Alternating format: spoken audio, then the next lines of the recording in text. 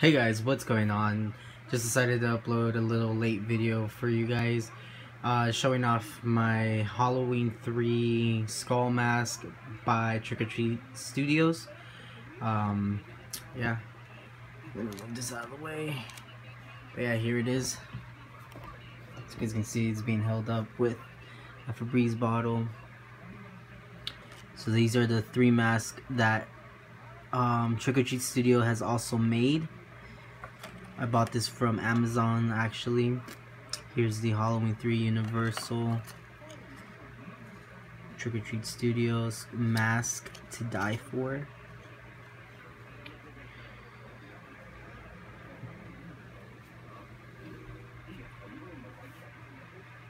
And then if we turn around in the back here, you can see the Silver Shamrock novelty Silver Shamrock novelties um, coin in the back here. That's what all the uh, mask from Trick or Treat Studios actually has. I really like the uh, detailing in it. It's one of my favorite masks.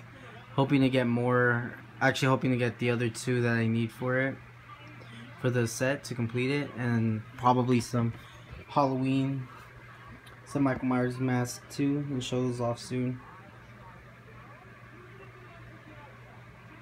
But yeah. That's pretty much it. See you guys tomorrow